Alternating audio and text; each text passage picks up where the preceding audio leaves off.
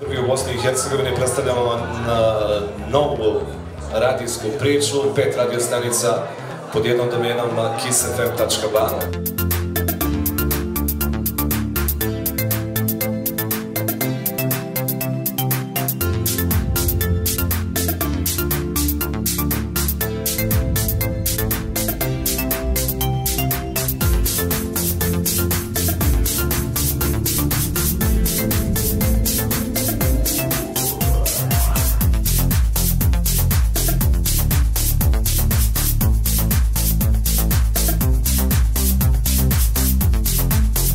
Drago mi je da imam priliku da učestvujem u večerašnjem programu, da nastavimo našu dobru saradnju i a, ovo je moj znak zahvalnosti za, za Emira koji je mene podržao i gurnuo onako na početku moje karijere kad mi je trebalo da mi se otvore medijska vrata i da me malo šire auditoriju pozna. On je a, jedan od najzaslužnijih ljudi što sam dobio tu priliku i ja sam večeras tu zajedno sa svojom ekipom da mu se zahvalim na tome.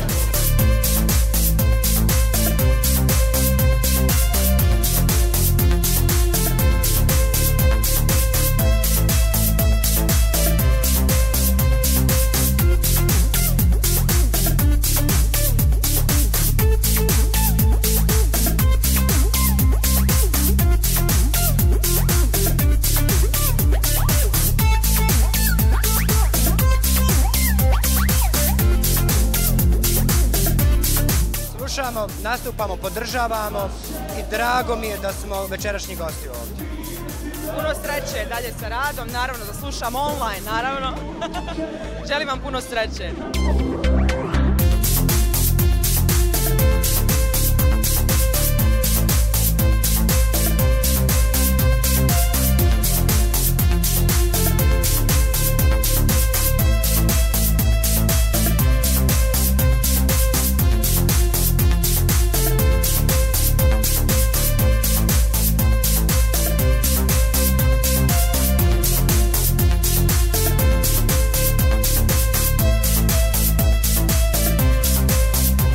Ne, pa to je omiljeni radio. Mi dok u kombiju se vozimo, Goran nam pusti Kiss FM.